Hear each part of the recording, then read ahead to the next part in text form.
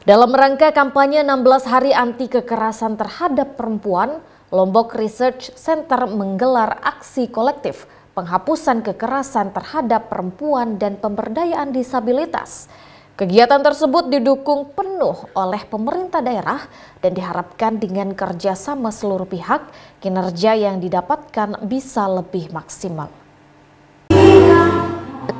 Sabtu 2 Desember, PJ Bupati Lombok Timur Haji Juwaini Taufik bersama Ketua TPPKK Hajah Nur Hidayati Taufik menghadiri kegiatan aksi kolektif penghapusan kekerasan terhadap perempuan dan pemberdayaan disabilitas dalam mencapai SDGs yang digelar oleh Lombok Research Center. Kegiatan tersebut dibuka langsung oleh Ketua TPPKK Kabupaten Lombok Timur dan dihadiri oleh OPD dan jajaran terkait lainnya. Dalam sambutannya, Ketua TPPKK memberikan dukungan penuh terselenggaranya kegiatan tersebut. Yang menambahkan 16 hari anti kekerasan terhadap perempuan merupakan kampanye internasional yang dibuat oleh masyarakat sipil.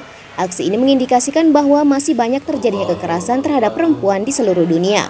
Hal ini juga dinilai sangat berkaitan dengan program PKK Pokja 1, di mana dalam Pokja tersebut terdapat beberapa kegiatan yang dilaksanakan di antaranya program pembinaan karakter keluarga, pembinaan karakter anak, serta bagaimana mengoptimalkan peran orang tua dalam menerapkan pola asuh anak dan remaja, terlebih di era digital seperti sekarang ini. Ia mengharapkan melalui aksi bersama yang dilakukan dalam kegiatan hari ini, baik berupa talk show ataupun rangkaian kegiatan lainnya, mampu memberikan pencerahan, ruang diskusi serta panggung aspirasi yang mampu menggugah masyarakat di Lombok Timur bahwasanya kasus kekerasan perempuan sangat penting diperhatikan, begitu juga dengan pemberdayaan disabilitas.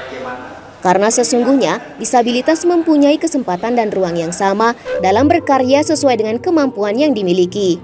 Aksi kolektif ini sangat terkait dengan eh, program PKK. Kalau di PKK tepatnya di bagian Pokja 1 yaitu ada program pembinaan karakter keluarga, pembinaan karakter anak sejak dini, bagaimana mengoptimalkan karakter anak peran orang dan minimalkan peran orang tua dalam menerapkan pola asuh anak dan remaja di era digital. Karena disadari ataupun tidak bahwa peran digital yang hampir mempengaruhi semua segi kehidupan kita termasuk juga e, terhadap kekerasan terhadap perempuan walaupun dampak positifnya juga banyak, banyak positif. Setidaknya dengan aksi yang kita lakukan seperti hari ini ada talk show nantinya kemudian tadi juga kita lihat ada uh, pentas dari uh, saudara-saudara kita yang disabilitas di mana Tuksu nanti bisa memberikan pencerahan dan ruang diskusi bagi aktivis dan gambaran dari pentas tadi menjadi panggung aspirasi yang akan menggugah kita semua tentunya masyarakat Indonesia Lombok Timur khususnya bahwa disabilitas juga mempunyai kesempatan dan ruang yang sama untuk berpartisipasi dan berkembang sesuai potensi yang mereka miliki.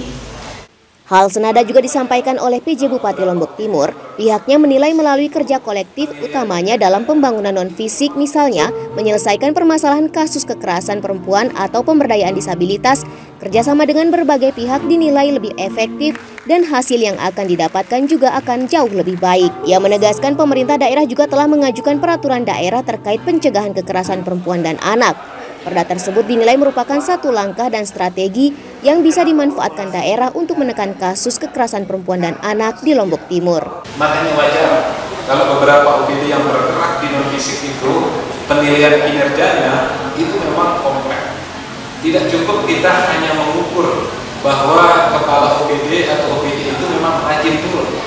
Tetapi kadang-kadang dengan membangun sinergitas, membangun kolaboratif atau aksi kolektif hari ini itu akan lebih menyebabkan capaian-capaian atau SPM-nya itu lebih cepat ngangkat daripada kerja sendiri. Saya pikir itu yang dikatakan oleh pejabat ketua tim penggerak PKK Lombok Timur. Sementara itu perwakilan dari Lombok Research Center Ahmad Taufan mendorong pemerintah dan masyarakat untuk terus memperhatikan isu kekerasan perempuan dan pemberdayaan disabilitas baik di bidang pendidikan ataupun dalam hal pemenuhan dokumen kependudukan. Baik Silawati, Abdul Aziz, Selaparang TV melaporkan.